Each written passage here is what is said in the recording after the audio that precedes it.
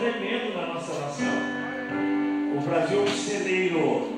Brasil, anota isso que eu estou falando. Brasil é a nação escolhida por Deus para fazer o desfecho, o desfecho de todo o plano de redenção.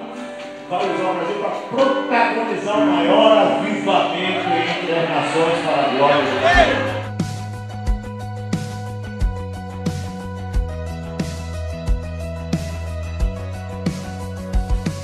Pessoal, nós tivemos o nosso Louvorzão Vamos Pra Cima e hoje foi muito interessante porque tivemos uma pré-conferência dentro do Louvorzão Vamos Pra Cima e quem pregou pra gente hoje foi o Nelson Júnior do Escolhi Esperar. Nelson, o que, que você sentiu hoje com essa galera linda aqui?